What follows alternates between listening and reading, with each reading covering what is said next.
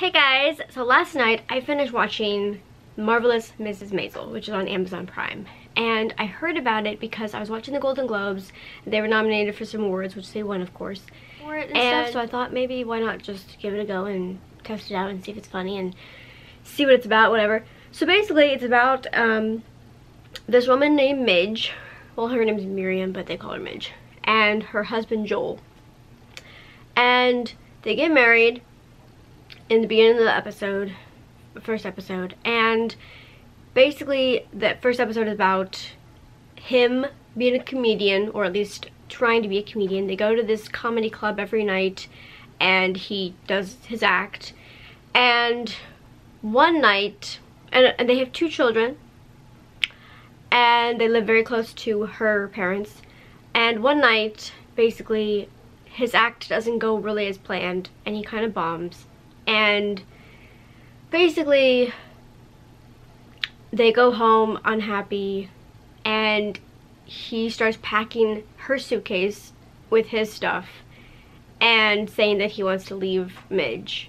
And the show is basically about what happens after that happens and how each character and their parents and their friends deal with it and all the changes that have that go into um, this decision of him leaving. And he also tells Midge that he had an affair with his secretary and basically um, in, in a drunken stupor, she goes to the Gaslight, which is the comedy club that they go to. She goes down there basically just, I think just to check it out because, you know, he he acts like the husband acts like that was his, like she didn't know that that was his dream apparently and it was. It was his dream to be a comedian. And she just thought that it was a fun thing that they did with their couple friends. And so she goes down there and she starts to to do an act out of nowhere. And she's actually really funny and and um, the woman who schedules the time slots for the comedians, sees that she has some potential, and while she is doing her stand-up, she shows her boobs, basically. And she gets put in jail. And the woman who does the time slots go ahead her out of jail. So basically, it's about her trying to figure out where she is in her life how she feels about Joel, her husband, how she feels about being a comedian, because, I mean, it's obviously not something she ever thought about doing. And the and this show is written and directed by the creators and writers of Gilmore Girls. And I would definitely say that you can tell that from watching the show because it's such a well-written show. Like, it's so good. Like, I can 100% see why it won Golden Globes, and last night it won Critics' Choice Awards. Both um, Rachel Brosnahan, who plays Midge, and the show have both, they both, both the show and her, they both won Golden Globes and Critics' Choice Awards for the show and for her performance. It's, it's fantastic. If you guys like, um, like 1950s, like, comedy, drama, like it's just it's just great. It's it's it's fantastic. I wouldn't say that I necessarily laughed out loud to any of the um, comedy in it, but I definitely think it's witty, it's charming, it's it's just it's just perfect. Like I can't get enough of it. I finished it last night. It was so good. The finale was amazing. Uh, spoiler alert. Um, he goes to they get they well in the last episode of the season, they have their son's birthday party.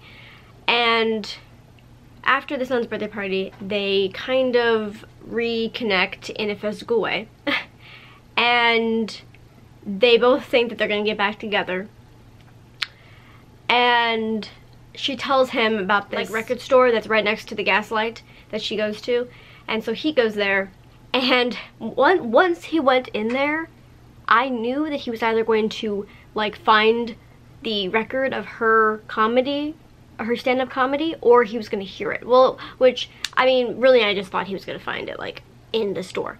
And he heard it. He heard it as he was going into the store, basically, and he looked at the the you know the, the the sleeve or something and he just went ballistic and then basically at the almost end of the episode he goes to the comedy club. She is about to go back on stage which I'm kind of leaving out like a lot of things because she in the earlier episode she met one of the most like popular comedians like of like of that generation of the, in the show played by Jane Lynch. And so after meeting her she kind of makes fun of her and gets lowballed and is not allowed to do her stand-up anywhere because of, of the fact that she made fun of that comedian who's really, really popular. Um, so, so um, Susie, who is the person who is like Midge's comedy stand-up manager, she gets this other comedian to do a um, to do his stand-up the gaslight and he allows her to go after him. So so and then of course we're back to the present what I was talking about. And so basically um Joel the husband he goes to the gaslight and she's there about Midge is about to go up there and do his stand-up and she he does not look happy. He does not look happy in any way shape or form. And so she goes up she does her stand-up and then towards the end of her stand-up she gets like kind of some cat calls and bad languages said to her from the audience. And the guys who did that leave the leave the place and then Joel goes out and punches this guy boom boom boom.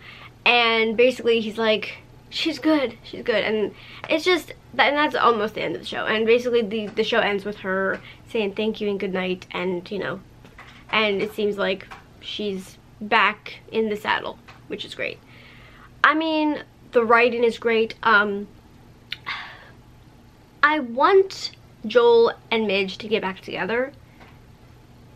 But I don't know. Like, it's kind of like one of those situations where, you know, once a cheater, always a cheater. Like, you don't know if he's going to cheat. But of course, I do think that he regrets what he did. And I do think that he really does still love Midge and made a horrible decision. And I think he just, I think he just felt like, maybe he felt like that was it was just a bad night for him I think when he left Midge. You know it was a bad night for him and I think he let it get to him too much.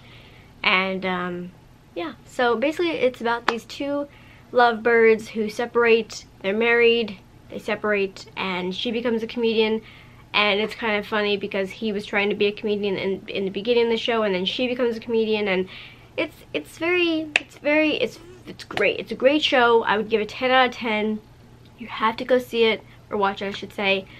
If you have Amazon Prime, go get it, or go watch it, I should say. Um, it's so good. Hopefully it'll be like on DVD within the next few months. So people who don't have Amazon Prime or don't want to get Amazon Prime can watch it, but it's so good. And the funny thing is, Rachel Brosnahan, who plays Midge, she is actually um, the niece of Kate Spade with the purses. And I guess Kate Spade is married to David Spade. At least that's what I read on IMDb, but I might be. I might be wrong. I'm not sure. Oh, guys, I thought about this video idea. Would you guys want me to do a video about why Italians talk with their hands? Because I was thinking about it, and I feel like a lot of Italians talk with their hands, and obviously I talk with my hands, obviously. And I thought that'd be kind of an interesting video to do. So if you guys want me to do that, let me know below. And let me know like what videos you guys really like from me because I'm trying to figure out like if I want to do more makeup videos every so often or if I want to do more pop culture videos. Why is my skin itching? I don't know. But yeah I love this show. Go watch Marvelous Mrs. Maisel. It's so good. Um I'm probably forgetting to to mention a bunch of details but I try my best. Her parents and his parents are really good also like the casting and the writing is just fantastic so go watch it. Thank you for watching. Don't forget to subscribe if you haven't already for more awesome reviews like this one and I will see you in my next video. Bye